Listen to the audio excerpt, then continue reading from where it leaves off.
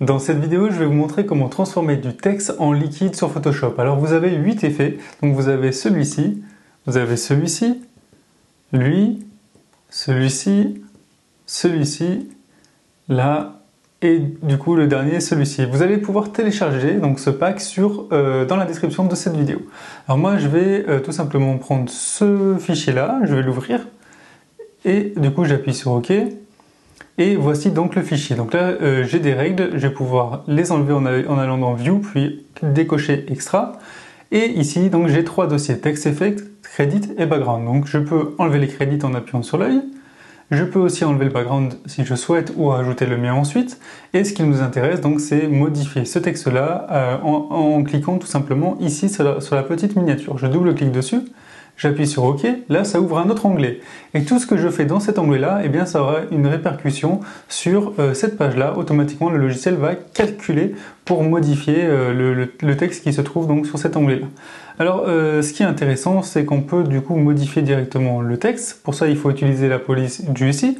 Si vous l'avez pas, vous pouvez la télécharger sur Dafont ou alors vous pouvez la remplacer par ce que vous souhaitez. Par exemple, je peux le remplacer tout simplement par YouTube. Ah, pardon, le texte par YouTube. Ici, je vais prendre une autre police, une que j'aime bien, c'est Roboto. Roboto Bold. Et ici, automatiquement, je peux replacer ce que je souhaite, donc laisser les, gouttes d'eau. Hein. Et euh, là, j'appuie sur File, puis Save. Je reviens dans l'autre document, et là, automatiquement, voilà, on a notre effet. Donc on peut voir que l'autre police était quand même euh, vraiment mieux. On peut voir les petites bulles d'air aussi. Après, tout dépend du style que, vous souhaitez, hein, mais vous pouvez utiliser du coup n'importe quelle police. On va voir maintenant avec le, logo de YouTube. Je vais l'importer euh, ici sur le logiciel. Hop, donc dans cet onglet-là. Voilà. Ensuite, je vais désactiver avec les yeux le, travail qu'on avait fait avant. Et ici, un truc important à faire, c'est euh, ici, on va enlever le fond. Donc, je vais vous montrer tout de suite comment faire. On fait clic droit, puis euh, ensuite Rasterize Layer. En fait, c'est pour que euh, Photoshop ne détecte pas ça comme un seul bloc, mais comme euh, du coup un bloc avec un trou au milieu pour pouvoir ensuite euh, gérer ça. Donc là, j'appuie sur la, petite baguette, je sélectionne le blanc, je supprime, et donc là, on peut voir le fond derrière. Je dézoome pour vous montrer. Donc voilà le résultat. J'appuie sur File et puis Save, donc j'enregistre. Et là, tout de suite, on va voir le résultat ici.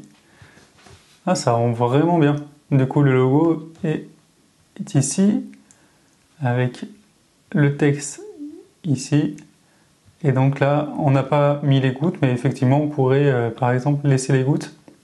Donc là, je vais le remettre ici, ça aura un effet un peu, un peu, un peu mieux. Donc là, je peux choisir les gouttes, euh, où est-ce que je les place, etc. Bon, je vais faire vite pour vous montrer. Mais voilà, file, save toujours. Je reviens sur le document. Et voilà le résultat avec euh, les gouttes. Donc c'est pas parfait, mais bien sûr, je l'ai fait euh, rapidement. Donc là, vous pouvez aussi ajouter des formes, d'autres gouttes, etc. Voilà, si vous voulez télécharger euh, donc ce pack, il est dans la description de cette vidéo et je vous dis à bientôt pour de nouvelles trouvailles.